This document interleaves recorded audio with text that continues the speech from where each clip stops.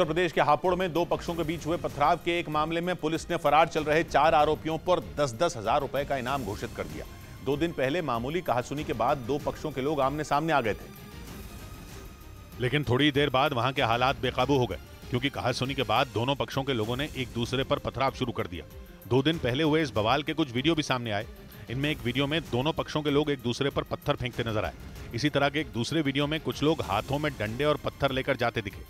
इसी वीडियो के एक दूसरे हिस्से में दो महिलाएँ भी लड़ती दिखाई दी। बवाल के बाद पुलिस ने कुछ लोगों को गिरफ़्तार कर जेल भेज दिया जबकि फरार चार आरोपियों पर दस दस हज़ार रुपए का इनाम घोषित कर दिया गया। साथ ही पुलिस ने लोगों से इनामी आरोपियों की सूचना देने की अपील की ताकि उन्हें गिरफ़्तार किया जा सके। उत्तर तो प्रदेश के हापुड़ में दो पक्षों के बीच हुए पथराव के एक मामले में पुलिस ने फरार चल रहे चार आरोपियों पर दस दस हज़ार रुपए का इनाम घोषित कर दिया।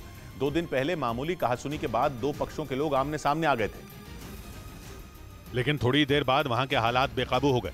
क्योंकि कहासुनी के बाद दोनों पक्षों के लोगों ने एक दूसरे पर पथराव शुरू कर दिया। दो दिन पहले हुए इस बवाल के कुछ वीडियो भी सामने आए।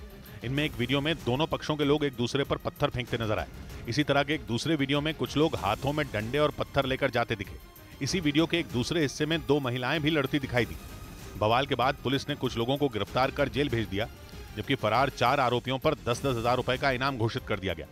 साथ ही पुलिस ने लोगों से इनामी आरोपियों की सूचना देने की अपील की ताकि उन्हें गिरफ़्तार किया जा सके। उत्तर तो प्रदेश के हापुड़ में दो पक्षों के बीच हुए पथराव के एक मामले में पुलिस ने फरार चल रहे चार आरोपियों पर दस दस हज़ार रुपए का इनाम घोषित कर दिया। दो दिन पहले मामूली कहासुनी के बाद दो पक्षों के लोग आमने सामने आ गए थे।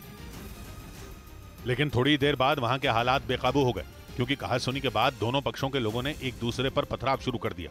दो दिन पहले हुए इस बवाल के कुछ वीडियो भी सामने आए इनमें एक वीडियो में दोनों पक्षों के लोग एक दूसरे पर पत्थर फेंकते नज़र आए।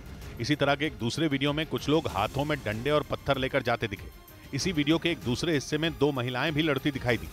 बवाल के बाद पुलिस ने कुछ लोगों को गिरफ़्तार कर जेल भेज दिया, जबकि फरार चार आरोपियों पर दस दस हज़ार रुपए का इनाम घोषित कर दिया गया। साथ ही पुलिस ने लोगों से इनामी आरोपियों की सूचना देने की अपील की ताकि उन्हें गिरफ़्तार किया जा सके। उत्तर प्रदेश के हापुड़ में दो पक्षों के बीच हुए पथराव के एक मामले में पुलिस ने फरार चल रहे चार आरोपियों पर दस दस हज़ार रुपए का इनाम घोषित कर दिया। दो दिन पहले मामूली कहासुनी के बाद दो पक्षों के लोग आमने सामने आ गए थे। लेकिन थोड़ी देर बाद वहाँ के हालात बेकाबू हो गए, क्योंकि कहासुनी के बाद दोनों पक्षों के लोगों ने एक दूसरे पर पथराव शुरू कर दिया।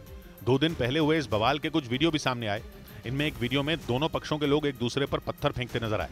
इसी तरह के एक दूसरे वीडियो में कुछ लोग हाथों में डंडे और पत्थर लेकर जाते दिखे। इसी वीडियो के एक दूसरे हिस्से में दो महिलाएँ भी लड़ती दिखाई दी। बवाल के बाद पुलिस ने कुछ लोगों को गिरफ़्तार कर जेल भेज दिया। जबकि फरार चार आरोपियों पर दस दस हज़ार रुपए का इनाम घोषित कर दिया गया। साथ ही पुलिस ने लोगों से इनामी आरोपियों की सूचना देने की अपील की ताकि उन्हें गिरफ़्तार किया जा सके। उत्तर तो प्रदेश के हापुड़ में दो पक्षों के बीच हुए पथराव के एक मामले में पुलिस ने फरार चल रहे चार आरोपियों पर दस दस हज़ार रुपए का इनाम घोषित कर दिया। दो दिन पहले मामूली कहासुनी के बाद दो पक्षों के लोग आमने सामने आ गए थे। लेकिन थोड़ी देर बाद वहाँ के हालात बेकाबू हो गए क्योंकि कहासुनी के बाद दोनों पक्षों के लोगों ने एक दूसरे पर पथराव शुरू कर दिया। दो दिन पहले हुए इस बवाल के कुछ वीडियो भी सामने आए। इनमें एक वीडियो में दोनों पक्षों के लोग एक दूसरे पर पत्थर फेंकते नज़र आए। इसी तरह के एक दूसरे वीडियो में कुछ लोग हाथों में डंडे और पत्थर लेकर जाते दिखे। इसी वीडियो के एक दूसरे हिस्से में दो महिलाएँ भी लड़ती दिखाई दी। बवाल के बाद पुलिस ने कुछ लोगों को गिरफ़्तार कर जेल भेज दिया, जबकि फरार चार आरोपियों पर दस दस हज़ार रुपए का इनाम घोषित कर दिया गया। साथ ही पुलिस ने लोगों से इनामी आरोपियों की सूचना देने की अपील की ताकि उन्हें गिरफ़्तार किया जा सके।